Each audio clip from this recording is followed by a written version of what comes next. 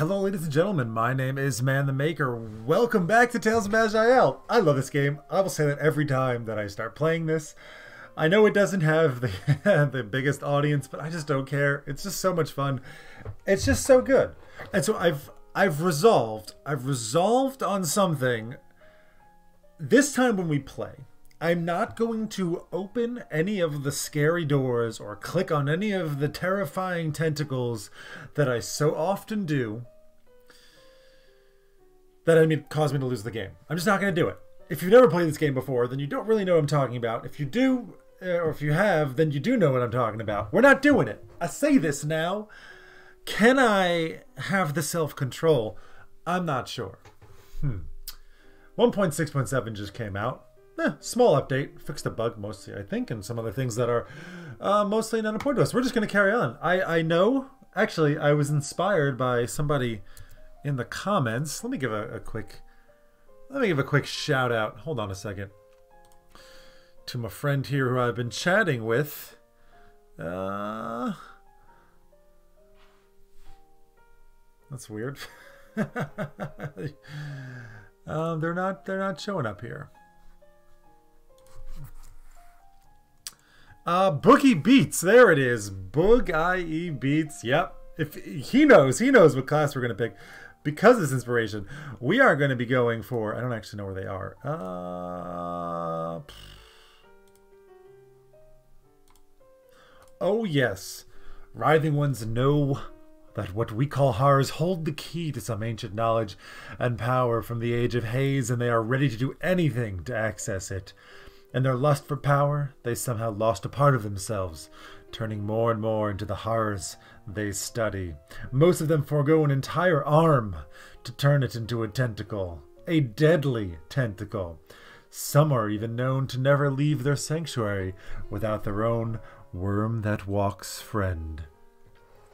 If you saw the last series, this is particularly poignant because we did encounter two worm that walks upon opening up a scary door. And, uh, bad things happened. We are the writhing one here. We are the writhing one. We need strength and magic.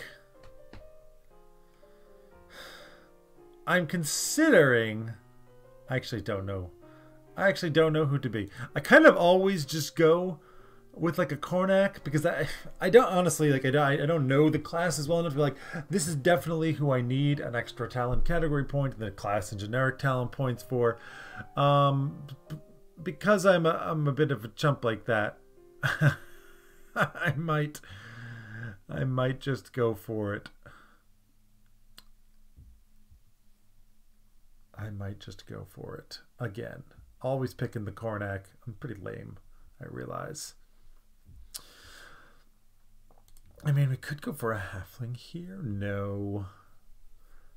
I mean, we do care about the lore. It's only minus two. In the end, it's it's basically the same. You know what? Let's try them out. We're tough. We got dexterity and constitution. Don't care at all about that. Actually. Do I care? I mean, Gift of the Woods allows us to regenerate life and increase healing once in a while. You know what? I'm just going to try. I don't know. Thalore. Thalore it is. So we will be... Oh, boy, I didn't think of a name here. Icky Man. I'm very clever. We'll be a man, and uh, let's go ahead. Boom. I have done a little bit of research on the class, but still, I mean... I'm I'm often easily overwhelmed here. Our magic is probably far too low to utilize anything here. Indeed, it is. We're gonna put all of points of magic to kind of compensate for our reduced magic that we did start off with. Now, why do we pick the lore? Because Gift of the Woods is very nice. Verdant is very nice. Wow. Nature and acid damage affinity. Guardian of the Wood is pretty nice. And Nature's Pride is also very nice. I like all of them. Um, we start off with tentacles. So this, our left hand is a disgusting mass of tentacles. Basically, we just carry only one weapon, and our other weapon is just this tentacle thing. It's very gross. there's a lot, a lot of stuff that, that we kind of like over here. I like a lot of stuff over here. Um, mutated hand is, is pretty good. I mean, constrict, and uh, I'm not gonna no, we're not gonna get too far into that. Horrific body. Is the shed skin for a damage shield. Damage shields are always nice, and it's probably almost certainly worth it. We do use insanity as a uh, as a thing, which I think as it gets higher up, I forget what it actually does. Um, we'll have to take a look at that again. Actually, before I do that, I know I want my, my stuff to go there. Yes, accept those changes. Characters registered. Mental insanity. Higher it is, the more random your damage and cooldowns become. Have a chance to increase or decrease by up to chaotic. So, okay, they're going to be all over the place. Both the chance and size effects will increase with insanity. Right, so things get kind of crazy. Um, Carrion Feet is pretty good. We just go faster when we activate it. Um, I did really, really like Decaying Horrors. Disfigured Face, I think we're going to ignore here. Um, I think we're going to ignore. And eventually we're going to pick up this one over here. But for now, I would like this one. We will pick up Shedded Skin. And I think we will pick up the Decayed Devours. Like, right, these things are all just great value points.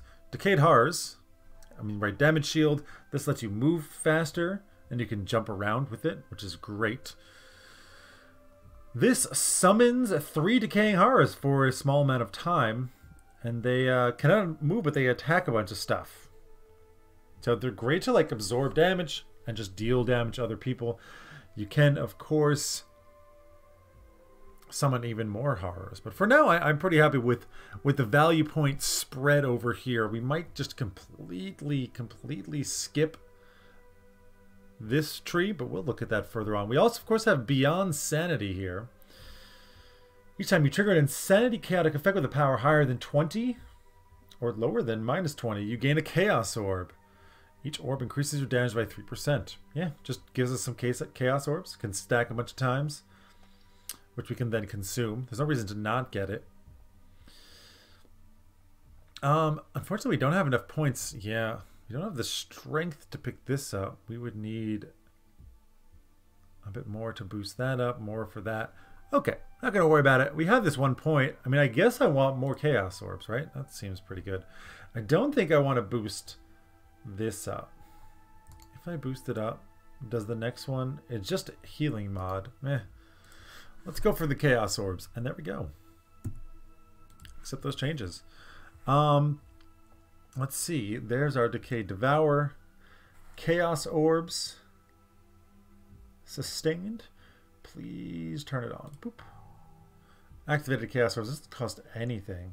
Does take a turn. We'll set this on to auto use when out of combat. Uh, no. Auto use... Yeah, I guess when out of combat. That's fine. And um, teleport. Yeah, we can just teleport back to here. And this thing is a passive. Whoops. You are just passive, right? Yes. Okay. Um, from here, I forget what we have to do. Throw that device. We have to destroy the worm's neural spine. All right. Something is heading towards us. We need to go and stop it. I don't remember where to go. Uh... There is a way out somewhere. I, I do not recall. Um, portal to the maggot. Yeah, this will take us right into this. And we got to go and stop this guy. I think we're going inside the worm. We are. It always kind of freaks me out. Because I've been inside of the worm before in a different situation and had really terrible things. Uh, why can't I... I don't have enough insanity. How do I gain insanity? Just by attacking? Apparently. And it just diminishes over time. Okay. We got a bunch of guys here. I'm going to summon my friends. Say hello. You can see I'm whipping people with my tentacles over there. Great. Seems like we're going to be able to just kind of bash through here. We are playing on normal difficulty, though we are on roguelike, so uh, if we die, we are dead. Smack you down. You're my damage shield? Yeah, you should actually come over here. Healing infusion of the sneak. It's probably better than what we have. Ooh. Move to normal inventory. And then use. Indeed, it is better.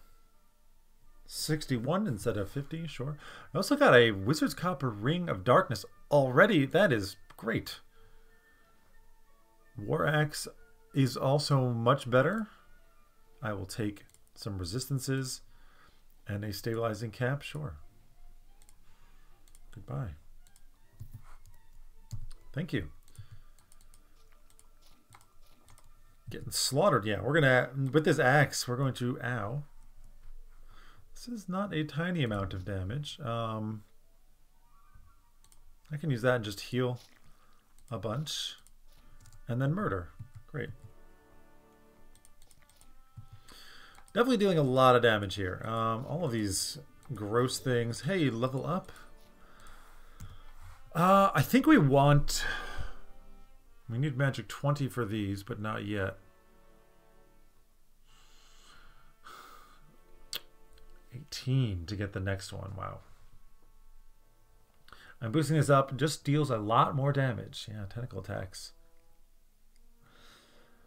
Hit your target and those on the side. Oh, I didn't realize that it just smacked everyone. That is pretty awesome. Um, but also, I kind of want to get these I want to go up over here. Hmm. I think for now.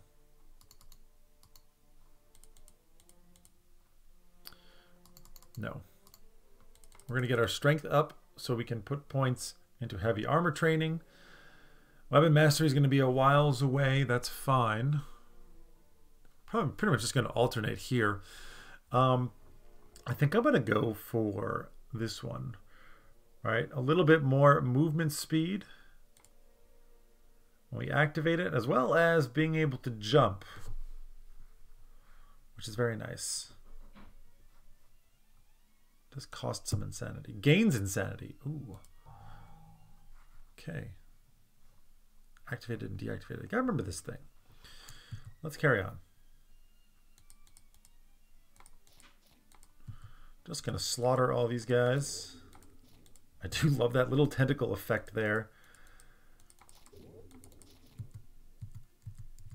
Poisoned a little bit.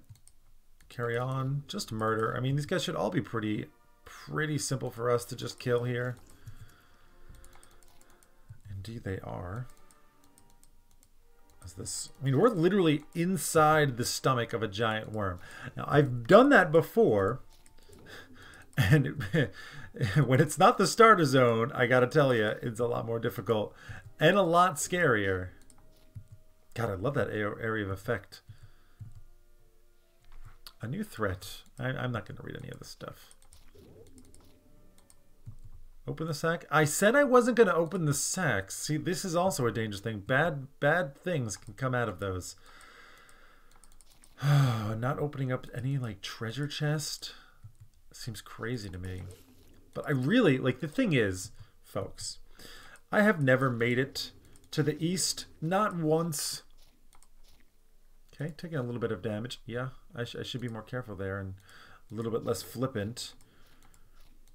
Not once have I made it to the east, let alone... Wow. That's pretty great. Just watching it murder everybody. Um, did I forget? I have a generic point here. I can put this into here. Yeah. Get that Chaos Orbs up to three. Why not? Uh, Embers of Rage, a little present in the inventory. I have Embers of Rage. What do you what you got for me? The Cog, plus five cunning and willpower, and 10% chance when you're hurt to negate the blow entirely. That is fantastic. Really, really good. Dark Whispers from unseen foes. And now it is the spinal cord. Okay. We oh yeah, of course. There's the spinal cord. We shall sever the spinal cord. Um, I will shed some skin here. And, uh, hey. Oh my god.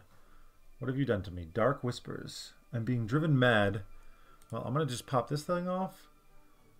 And I have full healed. Not dealing the greatest damage. Um, I will use a regen right now to negate any possible damage, and you're dead. Worm that devours? Done. Madness of the Ages, you're mine. Summertide Phial is always nice. Right, this is a much better lantern, plus uh, some other bonus stats. When attacking in melee, deals 15 light damage and lights tiles in radius 1. Yeah. We'll definitely wield that. We'll put on this uh, maximum life of 32, please, and thank you. An even better healing infusion. Don't mind if I do. Don't mind if I do. Another ring. Wow, that's a lot. Sometimes I don't get any rings for a long time, but I will definitely take this. Plus strength, armor, a bunch of cold resistance. I don't know about the teleportation ring, or rune rather. Um, got ourselves a slime battle axe. Chance to slow global speed, only 7%. This does 16.5 to 23. This one does a little bit less, but actually, okay. I'm going to move it to normal inventory. Balance Iron Dagger, I don't think we're going to use. Quick Iron Greatsword is a two-hander, no thanks. We will take the boots. Um, and the leather cap we'll probably take. Dexterity over physical save? Nah. Not what I want to see. Hmm. Damage of 28 compared to... Oh, it's Arcane Disrupting. Never mind. We will not use that. We will just use the War Sword of Massacre. Thank you. Um, let's finish exploring everywhere here, please. Might as well get all the good stuff. All that sweet experience. Um, I'm being attacked. I cannot see, but that's fine. Bop. Down, down, down, dun, bum, bum, bum, bum, bum. Nowhere else left to explore. We did level up again. We are level 5 all of a sudden. My, my, my, my, my. We do need 20 magic. So I will go to that. And I want to get this up because, I mean, we are going to be using some heavy armor, massive when we can. And uh, the weapons mastery makes a lot of sense to me too. What is this? We consume it to teleport. Eventually, we trigger an explosion of a chaos orb. Confuse for six turn. Okay. Maximum negative insanity effect is reduced by 3%. Gaining, yeah, it's not that interesting. I think I'd rather just go for more straight damage at this point. Um, and then now into magic. What do I need? 26, 26 strength to get to that. Yeah, that's fine. I, yeah, makes sense. Over here now. A lot more magic to get this mutated hand up higher. That's true. This one, spin around an extended weapon damaging all targets around you for a bunch of damage and hitting people in a larger radius, and we gain insanity. It's a nice way to gain insanity. This also, each time you make an attack with tentacles, you gain insanity. Yeah. This is a nice way to gain a bunch of insanity. Probably is worth it. Punch your tentacle hand in the ground, splitting up, dealing a ton of damage to a bunch of people. They can then have their damage reduced and if we're constricting, we'll deal even more damage. Okay, well, I think we obviously want the point into this.